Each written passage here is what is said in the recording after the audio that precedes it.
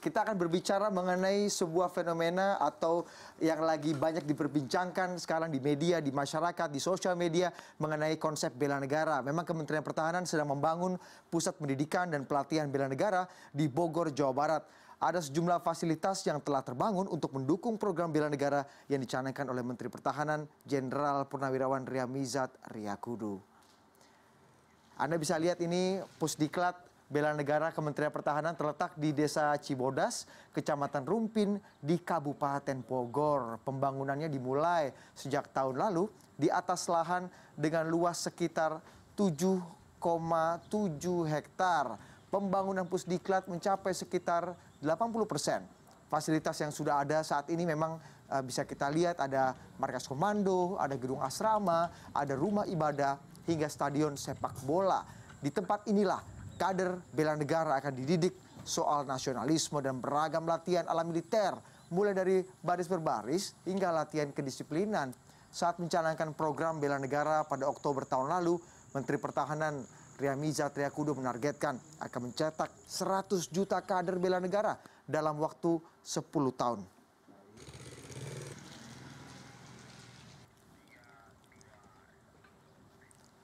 Ya, program bela negara yang sudah digulirkan sejak tahun lalu kini mulai berjalan dan menampakkan wujudnya.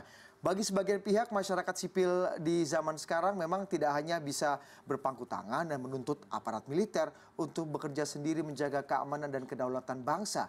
Tapi masyarakat sipil juga harus terlibat dalam berbagai hal seperti yang lagi tren belakangan ini, yaitu menangkal pengaruh ideologi yang dianggap berbahaya bisa saja kita sebut seperti komunisme atau ekstremisme tadi yang sudah disinggung sedikit oleh Mas Arswendo. Namun ide ini juga menimbulkan pro kontra di tengah masyarakat.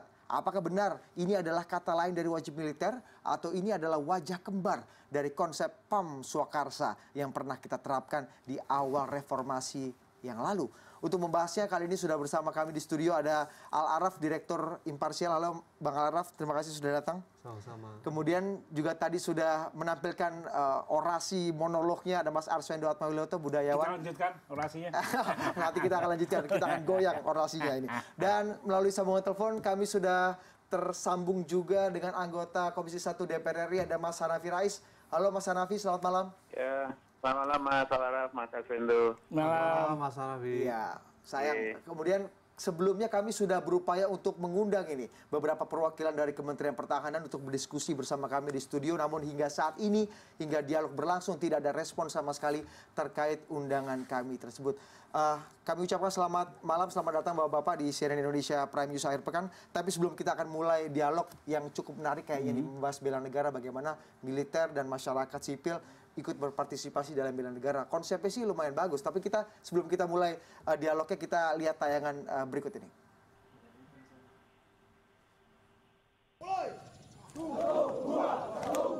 Jika Anda mengira deretan orang berseragam loreng biru ini adalah tentara, maka Anda keliru. Mereka adalah warga sipil yang mendapatkan pelatihan bela negara di sebuah pusat pelatihan milik Kementerian Pertahanan di Bogor, Jawa Barat. Kementerian Pertahanan meluncurkan program bela negara pada tahun 2015 untuk melawan apa yang mereka sebut sebagai erosi nilai-nilai nasionalisme. Kementerian akan membentuk garda yang beranggotakan jutaan pegawai negeri, dokter, mahasiswa, dan berbagai unsur kelompok masyarakat sipil lainnya. Nantinya mereka akan dilibatkan dalam sistem pertahanan sipil. Ide ini bertujuan agar masyarakat sipil juga ikut terlibat dalam menangkal pengaruh ideologi yang dianggap berbahaya seperti komunisme dan ekstremisme. Di pusat pelatihan yang ada di Bogor ini, sejak pukul 5 pagi, para peserta pelatihan mengisi waktu dengan jogging, berlatih lagu mars, baris berbaris, serta mengikuti ceramah dan diskusi. Mereka juga mendapatkan pelatihan merakit senjata seperti layaknya anggota militer. Menurut Kementerian Pertahanan, semangat bela negara bisa dipakai untuk membangun kesadaran masyarakat sipil untuk bertindak serta melaporkan jika melihat ada ancaman keamanan negara yang terjadi di lingkungan kepada pihak yang berwenang. Bela negara ini adalah preventif bangsa, preemptif lah. Sebelum terjadi dia menjadikan kesadaran bela negara bagus sehingga tidak terjadi ancaman-ancaman tadi. Sehingga ancaman itu baru potensi akan terjadi, dia akan melapor dengan pelajaran-pelajaran pengetahuannya, dia akan terjadi eh, ketahanan nasionalnya jadi tinggi. Selama beberapa waktu terakhir, semangat bela negara ini mendapatkan momentum ketika fobia bangkitnya komunisme merebak. Saat itu ada 2.000 anggota bela negara bersama dengan anggota ormas keagamaan melakukan aksi unjuk rasa untuk menentang bangkitnya kembali paham komunisme. Indikasi kebangkitan PKI itu nyata, bukan cerita, bukan hayalan, tapi fakta. Maka dari itu segenap rakyat Indonesia yang betul-betul cinta dengan NKRI wajib untuk menjaga kedaulatan negeri ini harus berdasarkan Pancasila, tidak boleh komunis bangkit lagi di Indonesia. Dosen ilmu politik Universitas Paramadina Jayadi Hanan menilai langkah pemerintah yang berusaha untuk membangkitkan ketakutan akan kembalinya komunisme serta ideologi luar yang mengancam nasionalisme dan nilai kebangsaan lalu menangkalnya dengan konsep bela negara adalah kedok ingin kembali bercokolnya militer dalam urusan sipil dan politik. Jadi gabungan antara adanya uh, keperluan untuk melakukan revolusi mental bangsa dan dan penyelenggara negara dan kekhawatiran akan fenomena-fenomena yang tadi yang dianggap tidak sesuai dengan nasionalisme, nilai-nilai kebangsaan itu tampaknya menjadi alasan untuk memunculkan program bela negara.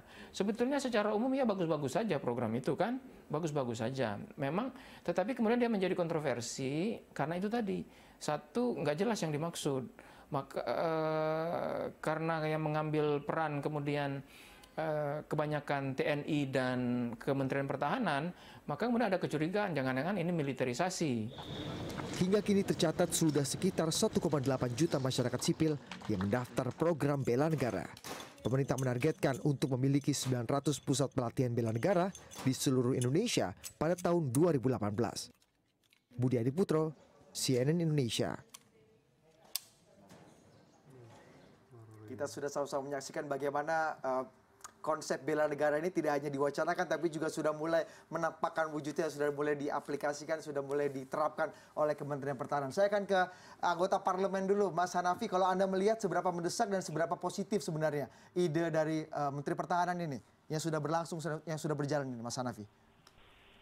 Menurut saya belum urgent ya karena menyiapkan komponen cadangan, komponen pendukung atau paramiliter semacam ini seperti yang dilakukan dalam pendidikan bela negara ini tentu pasti selalu akan berangkat dari soal ancaman terhadap negara kita ini seperti hmm. apa bentuknya gitu. Yeah. Nah, saya beberapa hal tadi juga mendengarkan monolog dari Mas Aswendo ada hal yang menurut saya kalau diekstrapolasikan tentang ancaman itu hmm. menjadi relevansinya tidak ketemu kalau sekarang ini yang sering dibicarakan adalah tentang proxy war, ancaman cyber, kemudian uh, ada bentuk-bentuk ancaman non konvensional, non tradisional, hmm. maka tentu penyikapan oleh uh, pertahanan kita, struktur pertahanan kita bukan dengan uh, pasukan yang disiapkan dalam bentuk uh, tadi itu uh, paramiliter atau memiliterisasi sipil ya, uh, sehingga nanti antara ancaman yang kontemporer dengan cara kita penyikapan menjadi tidak sinkron, tidak pas. Mas Hanafi, Nur Sewu, nah, kalau kalau kalau Anda bilang memang ini idenya belum terlalu perlu sekarang, tapi kan ini ide sudah berjalan, berarti tidak ada restu dari Komisi 1 DPR sebagai mitra dari Kementerian Pertahanan atau gimana sih kemudian perbincangan-perbincangan antara eksekutif dan parlemen terkait dengan ide ini sampai akhirnya bisa berjalan dan juga sudah mulai pelatihan ya kita sudah mulai bisa melihat ini. Ya, uh, memang belum ada pembicaraan yang detail dan menyeluruh tentang uh, program pendidikan bela negara ini ya. Hmm. Uh, bagi saya secara umum program bela negara itu secara normatif itu bagus ya. Saya kira anak muda sekarang pun saya bicara dengan beberapa generasi Y yang disebut generasi Y sekarang ini pun mereka juga punya antusiasme untuk terlibat dalam bentuk bela negara.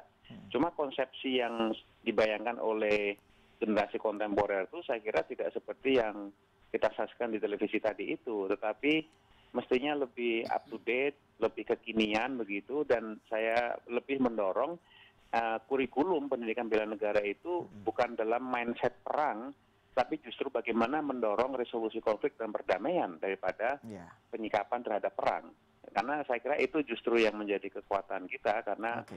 Eh, konstitusi kita pun adalah menjaga ketertiban dunia dan perdamaian dunia. Jadi mestinya arahnya ke sana bukan mm -hmm. eh, apa bukan warmonger ya bereaksi terhadap ancaman-ancaman untuk perang itu. Baik. Itu yang pertama. Yang kedua, eh, kalau ini kemudian menjadi program yang sangat masif, tentu pasti akan melibatkan anggaran negara yang eh, resmi dan tentu besar juga. Artinya eh, payung hukum berupa undang-undangnya itu juga harus jelas.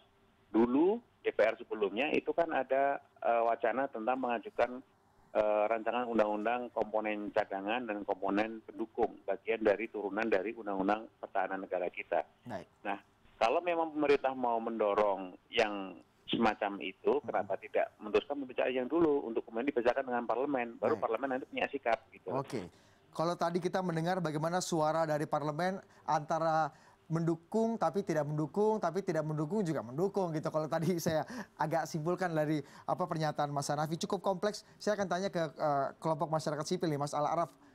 Anda melihat betul-betul mendesak atau seberapa positif kalau tadi Mas Al Araf mengatakan eh Mas eh, Hanafi mengatakan sebenarnya ide-ide bela negara ini ide-ide yang positif. Tapi kalau kita lihat bagaimana eh, perwujudannya yang diwujudkan oleh eh, Kementerian Pertahanan seperti itu, anda melihatnya seperti apa? Tahan dulu komentar Anda, Mas.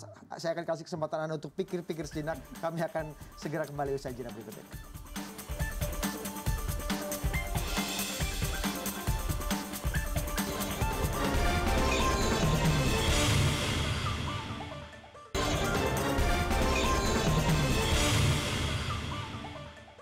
Kita akan lanjutkan dialog seberapa perlu sebenarnya eh, aplikasi dari bela negara yang sesuai dengan imajinasi dari Kementerian Pertahanan. Saya akan ke Mas Alaraf sebagai masyarakat sipil. Anda melihatnya seperti apa? Ya memang secara konsep eh, bela negara sebagai sebuah konsep eh, pertahanan keamanan itu sesungguhnya belum tuntas diperdebatkan oleh pemerintah dan parlemen.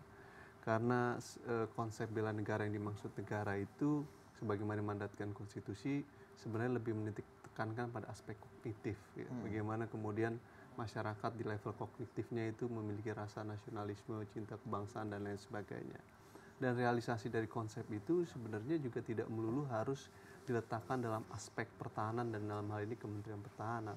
Aspek untuk pembangunan itu sebenarnya lebih tepat diletakkan dalam aspek uh, pendidikan karena ruang itu yang sesungguhnya jauh lebih bisa digunakan dalam membangun aspek kognitif ke masyarakat, bagaimana mencintai bangsa dan lain sebagainya. Nah, persoalan ini kemudian eh, menjadi keliru kalau hanya semata-mata diletakkan dalam upaya eh, Kementerian Pertahanan dengan melatih program sendiri dan spesifikasi sendiri. Nah, yang kedua adalah karena secara konsepsi ini masih dalam diskusi antara pemerintah dan parlemen, secara hukum juga ini sesuatu yang sebenarnya tidak sejalan dengan hukum karena upaya membangun bela negara ataupun komponen cadangan itu Iya. Pertama-tama harus didahului dengan pembentukan undang-undang bela negara ataupun undang-undang tentang komponen cadangan dan komponen penduduk. Oke, se- semua se- saya itu belum ada sedikit. sampai sekarang. Jadi masalah prosedural secara hukum ini belum selesai. Belum ber- masih bermasalah. Secara Konsep- substansi juga konsep juga belum prosedur. selesai, masih ragu. Tadi disampaikan juga Pak Hanafi Rais bahwa ini masih dalam dinamika diskusi di antara pemerintah dan parlemen dan juga masyarakat sipil. Sehingga kalau sampai kita melihat tadi ada pelatihan begitu masif dan kemudian plus dilatih menggunakan senjata itu sesungguhnya sesuatu yang harus dikoreksi oleh presiden dan juga oleh parlemen bahwa program-program seperti ini eh, tidak bisa didiamkan tetapi harus dievaluasi. Kenapa? Karena dugaan-dugaan masyarakat bahwa ini akan berpotensi terhadap terciptanya militerisasi sipil itu akan semakin kuat. Sebuah program ketika dibentuk harus dilihat mulai dari proses awal sampai proses implementasi dan evaluasinya. Bahaya sekali kalau mereka-mereka yang dilatih dan dididik dan bisa menggunakan senjata, dididik selama 2-3 bulan. Ya. Setelah itu kemudian kita tidak tahu mereka akan seperti apa, ini akan menimbulkan problem-problem sosial tersendiri. Loh, bukannya Gitu. negara juga sudah punya, berarti kan kalau yang positifnya adalah negara sudah, sudah punya uh, orang-orang cadangan yang bisa kemudian membantu tentara nasional Indonesia untuk mengamankan negara dengan segala macam persoalan. Ini kan sebenarnya lebih positif, Mas. ada perubahan dinamika pasca reformasi bahwa tugas dan fungsi tentara menurut Undang-Undang Pertahanan 2 2002 adalah sebagai alat pertahanan negara. Jadi tugas utama tentara adalah menyiapkan ancaman perang dari negara lain. Oke. Jadi fokusnya di wilayah itu. Makanya kemudian tentara diberikan dibelikan Sukhoi, dibelikan tank, dibelikan kapal selam. Iya. Karena persepsi dan tugas utamanya untuk menghadapi ancaman eksternal tadi. Konsekuensinya peran-peran internal militer itu diminimalisasi untuk menjaga keamanan internal diantisipasi oleh berbagai instrumen salah satunya oleh kepolisian. Nah, upaya-upaya membangun eh, apa namanya pelipat gandaan kekuatan pertahanan itu sebenarnya memiliki berbagai macam konsep ya. Oke. Ada konsep misalkan eh, di negara-negara Eropa daratan Prancis menggunakan konsep wajib militer karena mereka menggunakan doktrin total war. Tapi perlu dicatat bahwa negara-negara di Eropa daratan yang menggunakan wajib militer itu sudah menghapus konsep tersebut. Oh jadi itu sudah usang Iya, ide-ide itu karena di sebenarnya. era modern warfare dalam dalam era perang modern Oke. kapasitas pemenangan kekuatan dalam perang itu ditentukan oleh dua faktor pertama teknologi pertahanan yang kedua adalah tentara yang profesional Oke. jadi mereka kemudian mengurangi tadi persoalan wajib militer sehingga Prancis menghapusnya kira beberapa tahun lalu Singkat kata ini idenya sudah ketinggalan zaman. Mas. sudah tinggalkan karena dianggap sudah tidak efektif dan sudah Oke. tidak efisien untuk membangun kapasitas kekuatan pertahanan. Orang akhirnya mengalokasikan semua anggarannya adalah untuk membangun tentara profesional dan membangun kekuatan senjatanya. Nah, Oke. Dengan adanya program bela negara yang khusus dibangun oleh Kementerian Pertahanan, ini menjadi beban anggaran sektor pertahanan. Oke. Sementara anggaran sektor pertahanan ini sangat terbatas Iya, gitu. iya. Nanti kita akan bicara mengenai sektor pertahanan, tapi kita bicara tentang sosial, sosial, kulturalnya, bagaimana masyarakat kan kemudian itu kalau kita melihat itu antusiasmenya luar biasa tinggi, Mas Ars. Sampai saat ini kabarnya sudah ada 1,8 juta orang yang mendaftar untuk ikut program ini. Kalau kita lihat tadi kan rasanya ada spirit kebanggaan kita dipakaikan seragam militer, kemudian dilatih secara militer, bahkan diajarkan juga apa pendidikan-pendidikan nasionalisme merakit senjata juga ada Mas Ars. Menurut Anda seberapa efektif kemudian masyarakat sipil kemudian ditanamkan didoktrin apa namanya dengan dengan dengan dengan ala militeristik seperti itu itu bisa membangun rasa cinta tanah air dan menangkal hal-hal yang dikhawatirkan tadi tuh. Komunisme ekstremisme bahkan LGBT juga katanya ikut juga ditangkal. Gimana Mas Ars? Ya kalau pengikutnya yang ikut sampai satu juta atau berapa bisa aja. 10 juta pun bisa kalau pengangguran ditampung kasih seragam, kasih janji gini banyak yang daftar. Saya juga mau daftar. udah, udah tua gini. Tapi begini, saya tadi dari Bapak kita di DPR tadi, Bung Hanafi tadi, proxy war itu bagian cyber itu bagian yang sekarang ini dia jangan lupa Bud Panglima TNI kita Bapak Kartonumanto menekankan sekali proxy war bahkan di beberapa tempat saya pernah diajak ikut naik kapal waktu itu berbicara tentang ini Ya, ini sudah kalau kita masih sistem kayak merekrut atau memberitahu tentang zaman Diponegoro, perang Diponegoro gini mungkin nggak nggak pas lagi. Ya. Jangan lupa kalau tadi disinggung oleh beliau ini, pasukan cadangan itu yang menjalankan sekarang mungkin tinggal Amerika, Jerman, Spanyol aja. Ya. Itu yang sekarang juga sudah mulai dikurangin. Kalau ini maksudnya pasukan cadangannya wajib ya. militer. Iya, wajib militer itu pengertiannya kan cadangan kalau nanti dipakai ke arah itu. Padahal justru profesionalisme yang ada ini yang harusnya lebih dikembangkan, terutama memang strateginya ini udah udah beda banget ya, Bu. Iya. Kita nggak nggak mungkin lagi deh. Apa sih Bu? coba selama ini perang-perangan nggak ada. Paling ngadepin teroris kemarin itu. Nah, Iya. ini baru masalah. Menghadapi teroris itu pun tidak selalu dengan perang, pasti diplomasi lebih dulu. Ini kecanggihan diplomasi, ini kecanggihan kita menggertak ini mungkin jauh Jadi lebih Anda penting. meragukan bagaimana konsep Kementerian Pertahanan dalam mengelola eh, apa namanya bela negara ini menjadi Ya. sesuatu output Kalau yang ini bagus. konsepnya pengertian seperti itu, iya. Karena nggak kita, kita jauh, sudah itu sudah ketinggalan, ya nggak ketinggalan zaman juga, tapi udah Ketinggalan udah nggak nggak iya. lucu lagi. Saya cuman Tapi mungkin nggak- bukannya belajar apa senjata gitu kan asik juga kan Ya, disiplin lah, ada udah- disiplinnya udah Mas ada, Ars, udah ada bangun pagi ya. TNI-nya udah ada yang memang harus itu aja yang iya. dibenerin. Karena gini, Pak, ini mungkin nggak ada kaitannya, tapi heroisme kita ini tuh bela negara. Orang membela negara itu membantu Bu Eni yang diambil Iya. makanannya. Itu jauh lebih punya. Bukan mekanisme di masyarakat Iya, ini saya mau menekankan itu yang terjadi. Bayangkan, itu hari ini begini, dua hari kemudian mereka yang protes itu bukan sekedar protes, ngumpulin dana. Itu luar biasa, itu membela negara. Hmm. Iya. itu bela negara Itu dengan bela negara. dan itu tidak diajarkan oleh Kementerian Pertahanan dalam diklat-diklatnya seperti Iya. ini. Kami nampaknya sudah tersambung dengan eh, perwakilan dari Kementerian Pertahanan ada Bapak Muhammad Faisal, Direktur Bela Negara, tapi nampaknya masih terputus kondisinya. Saya akan kembali ke Mas Hanafi. Mas Hanafi, kalau tadi eh, melihat sebenarnya konsepnya baik, tapi kok apa realita di lapangannya sepertinya apa namanya pendidikan-pendidikan dan pelatihannya tidak nyambung dengan kondisi kekinian. Ini DPR sendiri apakah tidak merespon ini atau melarang dulu atau mengkaji lebih jauh, lebih jauh lagi karena memang ini programnya sudah terlanjur berjalan Mas Hanafi. Halo Mas Hanafi, selamat malam. Lagi daftar Nampaknya kita lah ter- terputus. negara. Kalau kita bicara mengenai komponen cadangan, komponen cadangan ini kan juga sudah diatur. Ada yang ada yang, ada yang mengatakan belum, bahwa belum, belum diatur. Bela negara ini kemudian bisa dijadikan sebagai komponen cadangan. Ini kalau kalau saya kutip nih misalnya merujuk pada Undang-Undang Nomor 3 tahun 2002 tentang pertahanan negara, komponen cadangan adalah warga negara, sumber daya alam, sumber daya buatan serta sarana dan prasarana nasional yang telah disiapkan untuk diserahkan melalui mobilisasi guna memperbesar dan memperkuat komponen utama tentara nasional Indonesia. Apakah ini tidak dapat dimasukkan ya eh, bela negara eh, komponen ini tidak dapat dimasukkan sebagai Karena itu bantuan? dulunya kayak yang cadangan kan Ya. karena ada wajib militer kan. Oke. Kalau nggak ada ya nggak nggak ada ini. Maaf Bapak, reses. saya potong dulu Mas Alaraf karena kami sudah kembali tersambung dengan Direktur Bela Negara Kementerian Pertahanan. Ada Bapak Laksamana Pertama Muhammad Faisal. Selamat malam Pak Faisal. Selamat malam Pak Budi. Ya. Ya, terima kasih sudah mau berbincang bersama kami Pak Faisal. Sudah ada Mas Al Araf, Direktur Imparsial dan juga Mas Arswendo Atmawiloto, budayawan di sini. Saya ingin tanya Mas eh, Pak Faisal, apa sebenarnya program bela negara ini dan banyak diragukan orang ini tidak nyambung, tidak kontekstual. Sebenarnya seberapa perlu dan seberapa positif program ini, Pak? Ya Mas Budi, eh, selamat malam Pak Al Araf dengan Pak Aswendo. Selamat malam, Pak. Maaf. Ya terlambat, saya juga baru habis buka puasa nih dengan Bapak Kasal jadi baru hadir. Ya. Ah, jadi kalau pertanyaan tadi programnya bagaimana sebenarnya ya program daripada Kementerian Pertahanan tentang bela negara itu disebut adalah pembinaan kesadaran bela negara. Ini yang perlu dipahami. Jadi tidak ada konteksnya dengan militer, tidak ada konteksnya dengan komponen cadangan, tidak ada. Jadi pembentukan karakter itu di sana gitu. Iya. Jadi yang kita lakukan sekarang ini program itu adalah berangkat justru dari Undang-Undang Pertahanan Nomor 3 itu, yaitu pendidikan kewarganegaraan itu. Bagaimana warga negara Indonesia harus memiliki kesadaran bela negara dari situ.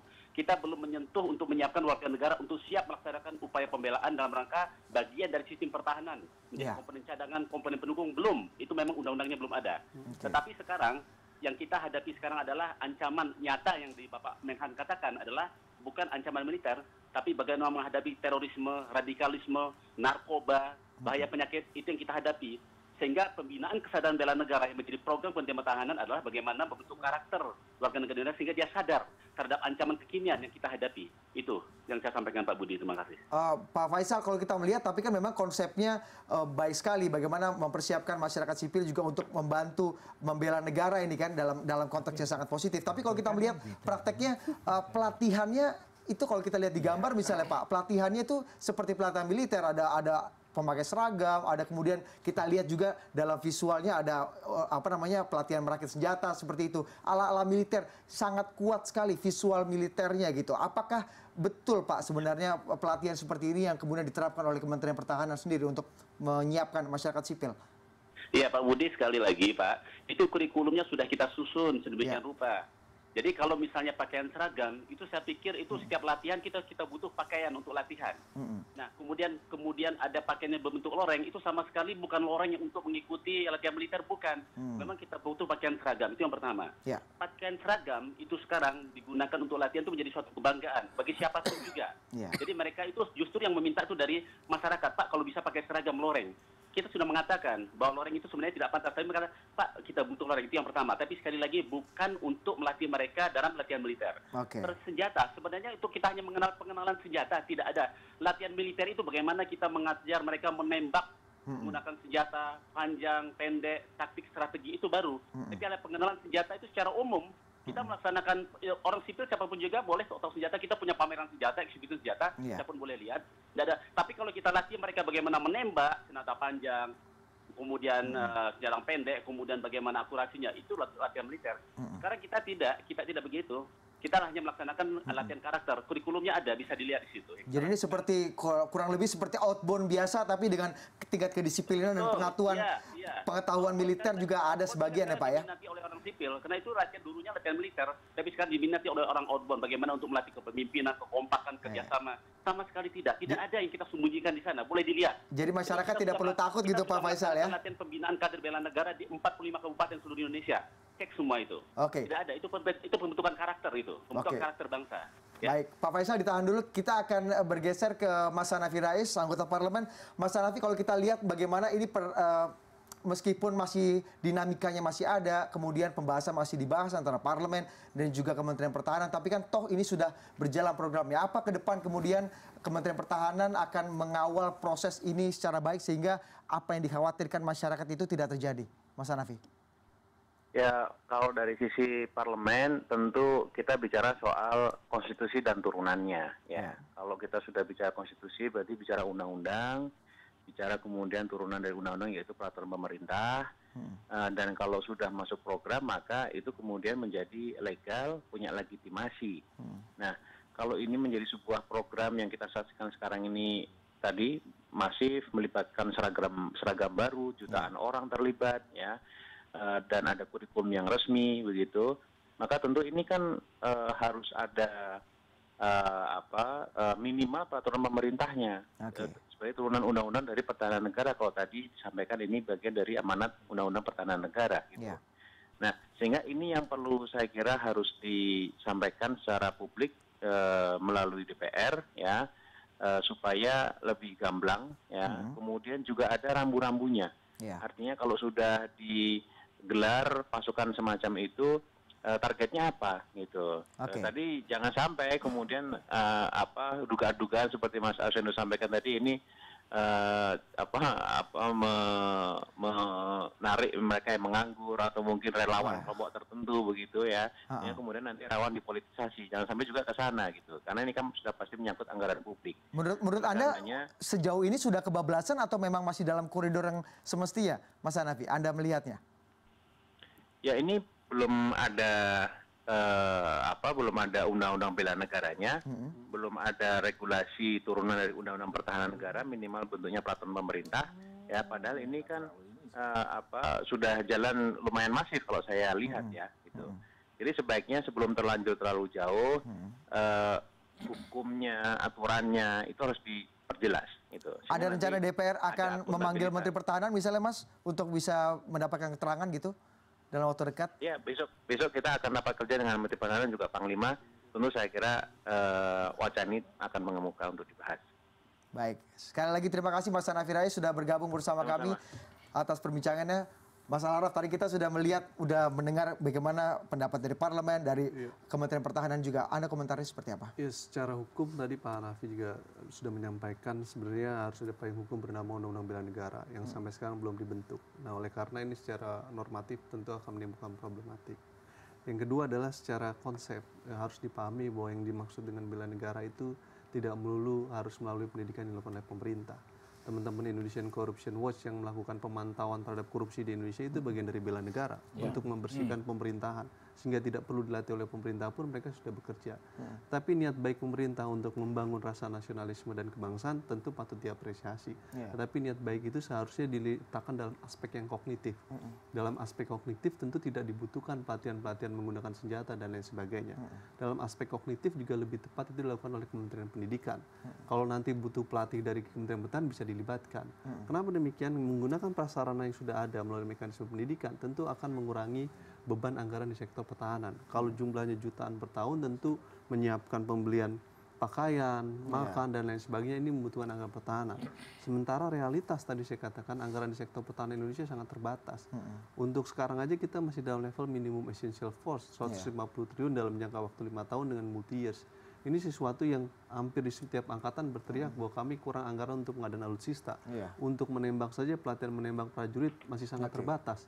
Untuk kesejahteraan saja level kesejahteraan prajurit masih jauh dari harapan. Oleh karena dari saya katakan kecenderungan era perang modern sesungguhnya meletakkan pembangunan kekuatan itu di luar level teknologi dan kesejahteraan eh, dan kapasitas kualitas militernya. Nah, oleh karena itu seharusnya Kementerian Pertahanan fokus untuk membangun kapasitas teknologi militernya, persenjataannya. Yang kedua adalah meningkatkan kapasitas kualitas tentara profesional sebagai komponen utama. Sehingga program-program di luar pembangunan kekuatan kapasitas senjata dan kekuatan tentara profesional sebaiknya tidak perlu dibangun. Gitu. Sehingga pemerintah fokus untuk membangun ini mengingat anggaran yang terbatas. Baik. Nah kalau begini yang terjadi maka akan menimbulkan beban anggaran sektor pertahanan. Ini yang menurut saya harus ada alokasi fokus dan realitasnya juga di banyak negara eh, wajib militer ataupun meski ini konsep eh, wajib militer di banyak negara sudah dihapuskan. Meski ini konsepnya bela negara, tetapi model dan polanya hampir persis seperti pola-pola pelatihan militer yang tentu jauh dari persoalan-persoalan aspek baik. kognitif tadi. Sebelum ke Mas Arswendo, saya akan kembali ke Pak Faisal dulu. Pak Faisal, tadi kita sudah mendengar bagaimana kritikan dari eh, teman-teman masyarakat sipil. Kayaknya Kementerian Pertahanan agak salah sasaran nih Pak, dan kemudian eh, masalah anggaran juga kemudian dibahas karena memang ini belum terlalu perlu katanya program seperti ini. Sebenarnya manfaat utama positifnya dan seberapa mendesak program ini harus dilaksanakan, itu komentar Anda seperti apa Pak? Oke, Mas Budi. Terima kasih, Mas. Jadi begini, tadi saya sebutkan bahwa program bela negara Kementerian Pertahanan itu kita sebut adalah pembinaan kesadaran bela negara. Pembinaan kesadaran bela negara ini bukan program baru, sama sekali bukan program baru. Ini program yang sudah dilaksanakan oleh Kementerian Pertahanan 15 tahun yang lalu. Sejak tahun 1982 sudah ada. Yang disebut sebagai PPBN, Pembina Pendidikan Pendahuluan Bela Negara. Itu ada di undang-undang. Sudah dilaksanakan. Namun ketika 2015 karena 2014 yang lalu Bapak Bapak Presiden mencanangkan yang disebut sebagai Gerakan Nasional Bela Negara Ya. di dalam Hari Peringatan Bela Negara pada tanggal 19 Desember 2014. Gerakan Nasional Bela Negara ini dicanangkan Bapak Presiden. Gerakan Nasional Bela Negara berkaitan dengan revolusi mental, pembentukan karakter bangsa. Oleh karena itulah maka pada tahun 2015 Kemhan membuat yang disebut Grand Des- Grand Design atau desain induk tentang pembinaan kesadaran bela negara. Ya. Apa isinya? Isinya adalah bagaimana Grand Design itu sebagai perencanaan strategi jangka panjang untuk melaksanakan PKBN ini secara nasional. Artinya Kementerian Pertahanan mengajak semua kementerian kelembagaan seluruh komponen bangsa bersama-sama melaksanakan PKBN. Ah, ya. PKBN ini sebenarnya juga sudah dilaksanakan oleh semua kementerian. Kementerian Dalam Negeri sudah melaksanakan wawasan kebangsaan dan kementerian lain. Ini sebenarnya intinya itu bukan hal yang baru. Nah, sekarang sudah berjalan. 2015 kita melaksanakan kegiatan itu. Ya. 2016 sekarang kegiatan kita sudah diteruskan oleh kementerian-kementerian. Jadi tidak ada anggaran yang dibebankan yang begitu besar tidak.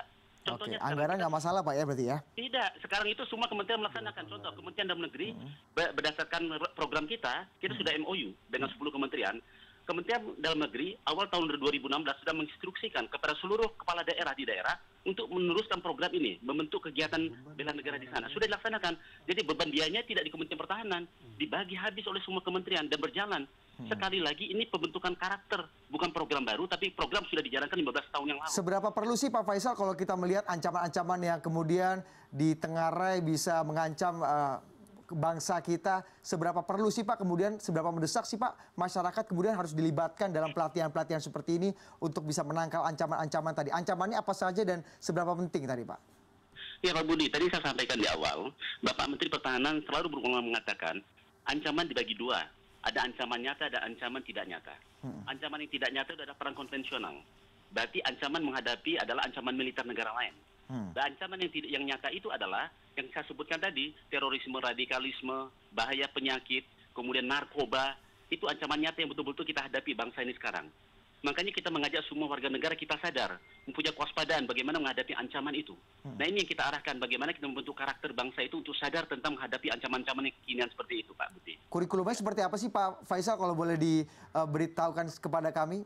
Apa yang Jadi, diajarkan sih sebenarnya di Jadi dalam kur- kurikulum ini? Kurikulumnya sebenarnya sangat sederhana, Pak Budi. Ah. Kita hanya menumbuh kembangkan kesadaran bela negara, yaitu menumbuhkan rasa cinta tanah air, sadar berbangsa dan bernegara, yakin kepada Pancasila sebagai ideologi negara, rela berkorban, dan memiliki kemampuan awal bela negara. Itu, ini konsep sudah lama, sudah ada di Undang-Undang Nomor 20 Tahun 82. Dan itu konsep yang sebenarnya pelajarannya sudah kita dapat dari sekolah sampai universitas ya Pak ya, pelajaran-pelajaran seperti sudah. itu. Baik. Saya akan tanya ke Mas Arswendo. Kalau, kalau tadi kita sudah mendapatkan apa namanya gambaran dari Pak Faisal. Konsepnya sebenarnya kurikulumnya kurikulum yang normatif, bela negara, Pancasila, Ya. NKRI, empat pilar. Tapi apakah sebenarnya hal ini menjadi begitu mendesak gitu kalau Mas Ars, Mas Ars melihatnya? Dijawabnya nanti aja Mas ya setelah jeda berikut ini. Saya Karena saya sudah dimarahi oleh produser saya kita harus break. Kami akan segera kembali bela jeda berikut ini.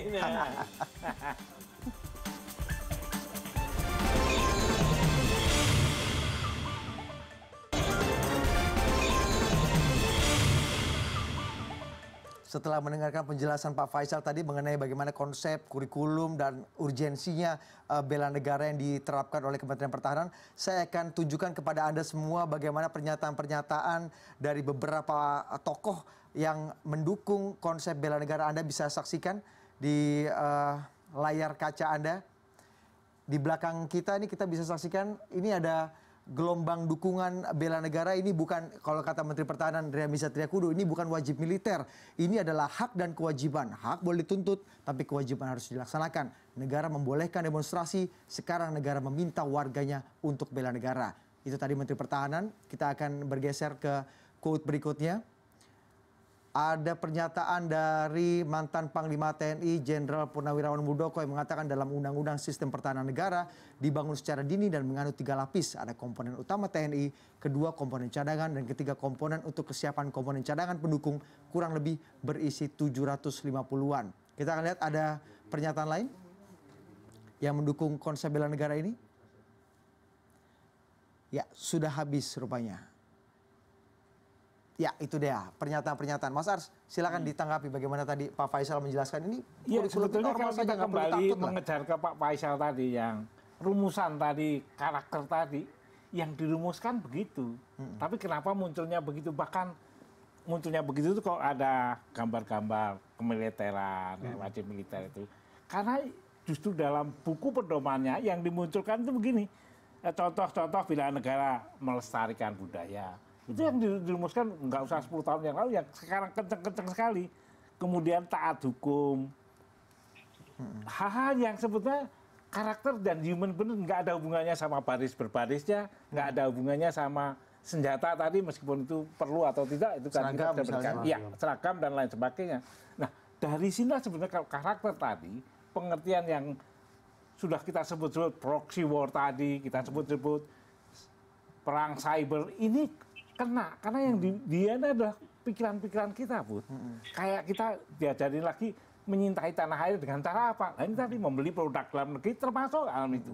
Berprestasi bulu tangkis misalnya itu bagian-bagian yang membela negara, mengharumkan nama dan Mengenai seragam misalnya Pak Faisal tadi mengatakan ini permintaan dari ya para peserta bahwa Ya. mereka ada kebanggaan korps kalau memakai seragam.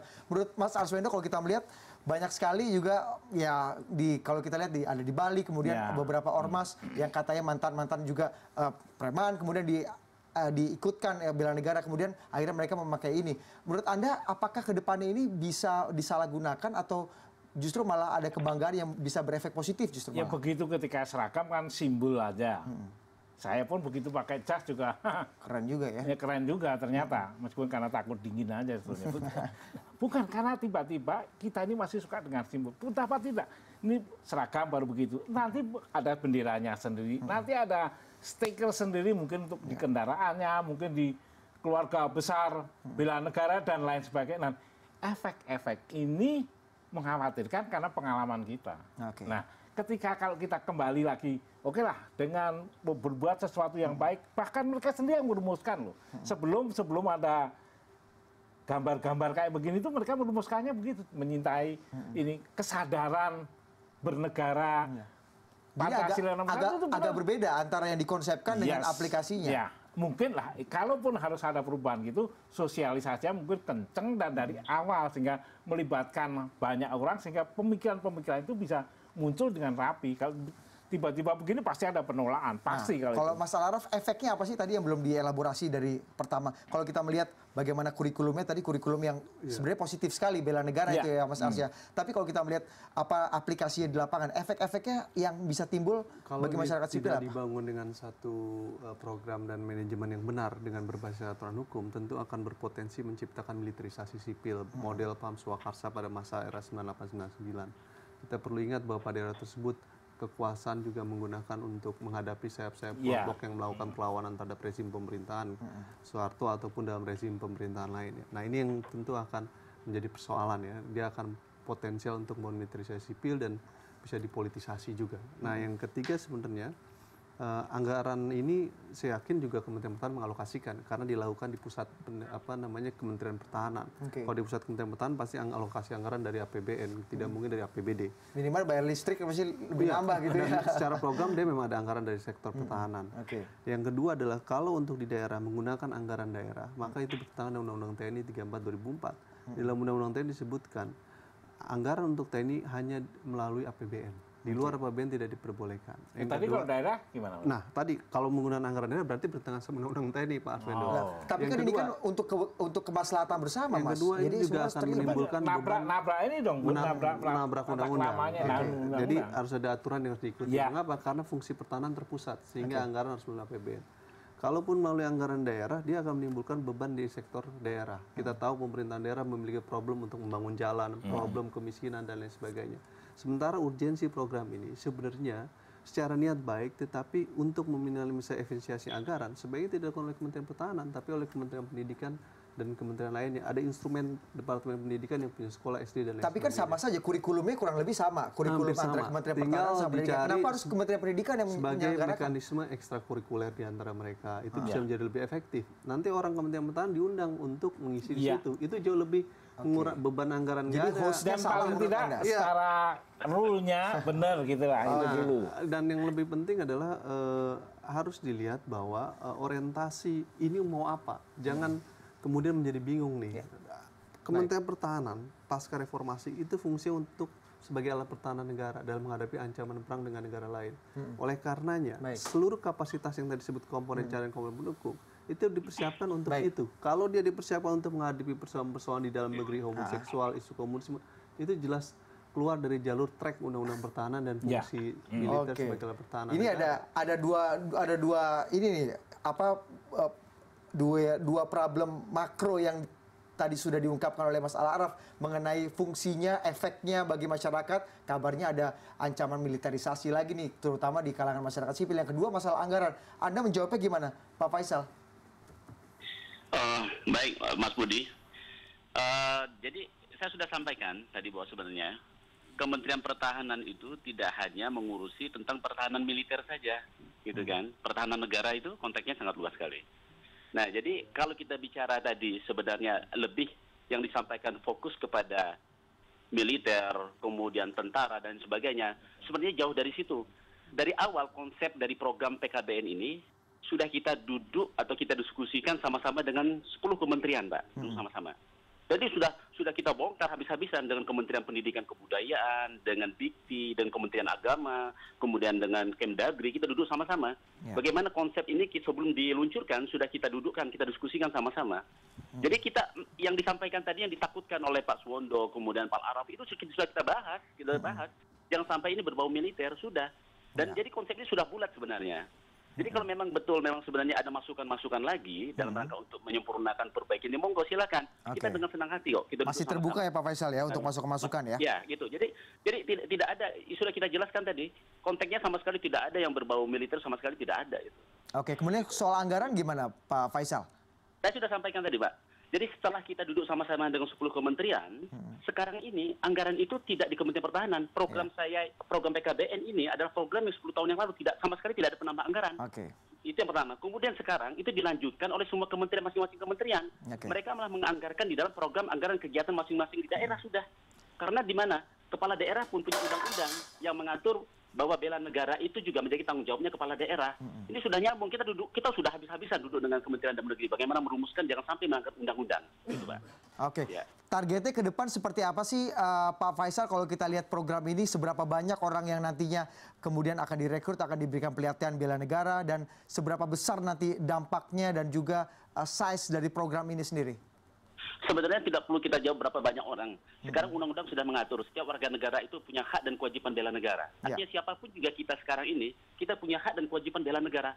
Hanya saja Kementerian Pertahanan coba menyadarkan, eh yang dimaksud dan kesadaran bela negara itu tentang hak kewajiban itu apa. Nah ini sebenarnya itu, ini fungsi kita sama-sama sebenarnya. Iya, iya, iya. Jadi kalau misalnya Bapak Menteri Pertahanan 100 juta, itu sebenarnya jangan bukan cuma nilainya, tapi yuk kita rame-rame sama-sama, yuk kita memiliki kesadaran bela negara menghadapi ancaman yang saat ini betul-betul di- yang sudah masuk ke dalam wilayah kita masing-masing gitu. Ada Gitu, nanti Pak. kemudian ini ada kewajiban kurikulum resmi nggak Pak nanti ke depannya kemudian target dari Kementerian Pertahanan akan masuk ke kurikulum-kurikulum di sekolahan misalnya untuk bisa Ya. membantu penyebaran. Bagaimana kemudian Jadi Pak, konsepnya? Pak Budi, jadi kita kita udah duduk sama-sama dengan Kementerian Pendidikan Kebudayaan dengan Dikti. Barusan kemarin kita diskusi panjang. Sebenarnya metode pendidikan PKBN ini tidak hanya lewat diklat, tidak. Jadi Kementerian Dalam Negeri, Kementerian Pendidikan Kebudayaan mereka sudah melaksanakan itu lewat kurikulum sekolah formal, kemudian ekstrakurikuler, lewat kegiatan pramuka, dilaksanakan seperti itu. Iya, Jadi tidak hanya lewat diklat-diklat saja, diklat yang kita lakukan sekarang hanya mendorong mereka untuk Oke. Nah, itu demikian ya. Oke, Pak Faisal, Pak Faisal, kalau kita melihat tadi eh, salah satu yang disoroti oleh anggota parlemen dan juga Mas Al Araf dan Mas Arswendo di sini adalah oke konsepnya baik, eh, mungkin eh, apa namanya perwujudannya juga sempat menimbulkan pro kontra di masyarakat, tapi masalah rules atau peraturannya ini, dasar hukumnya kata anggota parlemen tadi belum jelas ini Pak Faisal. Itu bagaimana Jadi Anda menjawab? Pak Ya. Faisal tapi boleh ditahan dulu komentarnya, saya akan Oke, tagih ya, janji Anda jawabannya usai jeda berikut ini. Tetaplah bersama kami.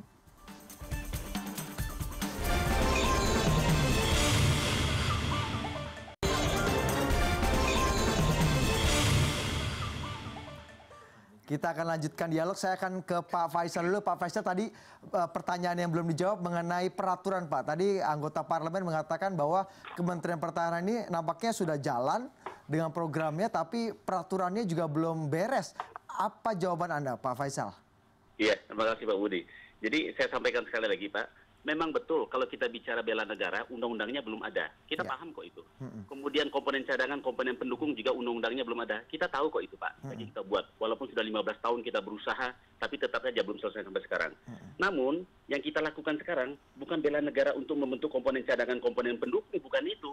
Program PKBN, Pembinaan Kesadaran Bela Negara yang sudah dimulai sejak tahun 82 yang disebut Pendidikan Pendahuluan Bela Negara. Itu ada.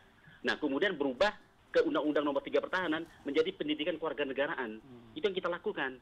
Nah, kemudian yang saya sampaikan lagi pada waktu 2015 kita membuat grand design sebagai payung hukum kita sebenarnya yang kemudian dijadikan permen Pepres kita harapkan untuk jadi Pepres sebagai payung hukum bagaimana program ini secara bersama-sama Ya. dilaksanakan oleh seluruh komponen bangsa, semua kementerian kelembagaan sebagai dasar hukumnya. Karena kita tahu untuk bela negara itu undang-undangnya belum ada. Tapi sekali lagi Undang-undang bela negara yang diatur itu adalah bagaimana kita menyiapkan warga sipil untuk mendukung komponen utama menjadi komponen cadangan, komponen pendukung. Bukan Oke. itu. Itu undang-undang yang diperlukan.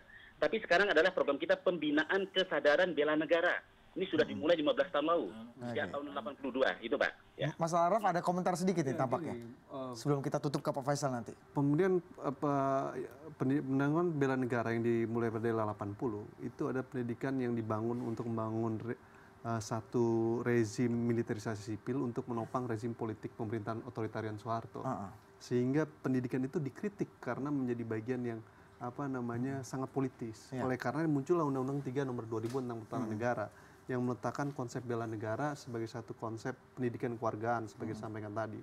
Oleh karenanya untuk menjelaskan konsep tentang pendidikan kewarganegaraan itu dibutuhkanlah undang-undang yang bisa menjelaskan apa yang dimaksud dengan undang-undang bela negara tersebut. Oke. Sehingga dalam level ini pun belum selesai, tapi kemudian praktik implementasi sudah dilakukan. Problemnya apa? Problemnya yang terjadi antara ide dan gagasan untuk membangun aspek karakter justru bertolak belakang dengan realitas yang terjadi adalah membangun militerisasi sipil, misalkan Iya. mempersenjatai apa namanya bisa bersenjata dan sebagainya. Nah, problemnya ada di level ini. Baik. Jadi jangan ditarik sampai ke era 80 karena era 80 itu rezim politik yang buruk dalam sektor pertahanan Iya. mengingat pada tersebut militer terlibat dalam Jadi politik konteksnya dan semuanya konteksnya sangat berbeda gitu ya? Dan undang sejak Undang-Undang 3 2002 Baik. juga berbeda. Makanya Baik. ini harus dibangun dalam sistem mekanisme konsep yang benar. Pak Faisal untuk eh, sebagai penutup kemudian Anda bagaimana menjawab ini keresahan-keresahan ini masih terus eh, terjadi di masyarakat baik di sosial media juga ramai Pak apalagi kemudian kita lihat berita-berita non sewu Pak Iya. Faisal di Bali misalnya Pak ada mantan preman dan anggota ormas yang juga direkrut. Aduh, Ini ada aduh. keresahan-keresahan Ya, sedikit. Gimana monggo Pak? Oke, jadi terima kasih Pak. Eh, sebenarnya saya juga jadi heran kok bisa resah saja resahnya di mana sih? Karena kita sudah jalan lebih satu setengah tahun, itu semua masyarakat itu mengharapkan dan bahkan hasil didik kita di daerah-daerah boleh datang ke setiap daerah, itu mereka dengan senang hati dan sampai sekarang mereka meminta. Hmm. Karena pendidikan kita lakukan itu jauh dari yang dianggap sekarang ini, yang diresahkan sekarang ini, yang dibicarakan sekarang ini. Yang ketakutan militer itu yang di mana? Saya juga nggak mengerti ini. Justru positif sekali, Pak, ya, efeknya ya. Lihat, ada pendidikan itu. Ini kita kenyataan aja, Pak, gitu. Hmm, Nah, jadi saya setuju sih apa kalau kita memang bicara, masa lalu kemudian ada kekhawatiran militerisme saya setuju kita juga mengalami itu Ya. justru kita menghindari seperti itulah maka kita membangun kembali dengan konsep yang baru ini Ini pelatihan Sekali sudah lagi, berlangsung berapa lama ya. Pak Faisal? Ber- gimana pak Hmm? pelatihan ini sudah berlangsung berapa lama oleh Kementerian Pertahanan? kita kita sudah mulai tahun 2015 kan kita sudah Oke. mulai kita sudah membentuk kader pembina di seluruh kabupaten Kalau- sekarang ada kader pembina Oke. Temuin mereka Dampak positif yang kemudian dilihat dilanjutkan Pak Faisal. itu maka pendidikan ini sekarang terus berlanjut dilaksanakan oleh masing-masing kepala daerah. Baik. Dan ini sudah komitmen kita dengan Kementerian Dalam Negeri, Kementerian Pendidikan Kebudayaan melalui sekolah-sekolah dan sebagainya. Sama sekali tidak berbau militer sama sekali tidak ada. Baik, jadi tidak ada militeristik sama sekali Pak ya. Tapi kalau sama Anda sekali melihat ngapain kita harus takut ribut di sini nggak ada Pak. Pak Faisal, kalau Anda lihat dampak positifnya selama ada pelatihan ini apa Pak? Yang misalnya masyarakat bisa lebih aware atau lebih apa yang kemudian bisa lihat? sekarang. Singkat Kita saja Pak Faisal. daerah sekarang bagaimana mereka sekarang sudah memiliki bagaimana semangat nasionalismenya, cinta Baik. tanah airnya mereka sekarang, bagaimana Pancasila sudah kembali mereka anggap sebagai ideologi, kemudian Hmm. sebagai falsafah bangsa dan mereka mereka sekarang mendekat ke pemerintah daerah untuk siap mendukung apa pun permasalahan yang ada di daerah tersebut sekarang. Boleh lihat sekarang di sana di daerah. sekarang. Kita berharap Ya. dampaknya semakin positif sekali lagi untuk kemajuan dan kemaslahatan bangsa negara. Terima kasih sekali lagi Pak Faisal atas perbincangannya di CNN Indonesia Prime News akhir pekan. Terima kasih atas waktunya Pak. Mas Arswendo, ini how low can you go sih sebenarnya program ini kalau Anda melihatnya. Enggak, tapi itu agak susah juga. Gimana? Jadi kalau tadi menghindarkan kita istilah bela negara itu dikaitkan militer, kan ditolak. Oke, bukan itu, tapi lebih pada kesadaran Bangsa. bela negara, ya, atau pembinaan kesadaran bela negara. Ya. Kalau ini mekanismenya pastilah bukan seperti yang ditunjukkan ini. Apalagi karena kaitannya ini kan ke daerah lagi, kemudian semuanya muncul lagi. Nah, ketakutan kita dengan orde baru yang dulu muncul lagi. Artinya kalau ka- ada kecemasan tertentu Wajar. bukan hanya wajar malah harus kalau kita ki- ada kayak begini kita Ah. nggak mempertanyakan mengkritisi akan luar biasa nah harus segera ada lebih pada penjelasan atau sosialisasi sehingga jelas Ya. karena kalau tidak karena nggak mungkin lah semua orang keliru dengan tentara cadangan Apalagi wajib militer tadi visualnya seperti itu. visualnya seperti itu Baik. meskipun jawabannya enggak nah kalau ini nggak segera di ini ini akan panjang misalnya kelihatannya Terakhir, satu menit dari Anda untuk menutup diskusi kita. Ya, sebenarnya urgensi pembentukan bela negara saat ini itu tidak harus selalu buru, tidak buru-buru. Artinya masih ada ruang buat pemerintah dan DPR untuk membangun satu konsep apa sih yang dimaksud dengan bela negara secara lebih baik. Dan ruang itu kemudian dimaterialisasikan dalam bentuk undang-undang. Sehingga kita bisa memahami apa maksud tujuan dan Iya. program bela negara itu seperti apa. Supaya kontrol juga ada. Intinya Ryan. supaya kontrol supaya ada, supaya tidak terjadi militerisasi Ya, sipil, persis. supaya tidak menimbulkan problem seperti pada masa Orde Baru dan lain sebagainya. Ini menjadi lebih clear. Oke. Problem sekarang masih belum cukup. Ini menjadi tantangan untuk pemerintah, terutama Kementerian Pertahanan untuk menjawab keresahan-keresahan Iya. kita Ya. mengenai kembalinya era militeristik di, di era reformasi dan demokrasi seperti saat ini. Terima kasih Mas Alaraf, terima kasih Mas Ars atas perbincangannya. Mudah-mudahan apa yang kita takutkan tidak terjadi ya, kembalinya uh, sesuatu yang supaya tidak terjadi kita kritisi Oh iya, tugas Anda semua ramai tetap ramai supaya masyarakat sipil tetap kita pecahkan mengawasi. gelasnya Terima kasih Bapak-bapak.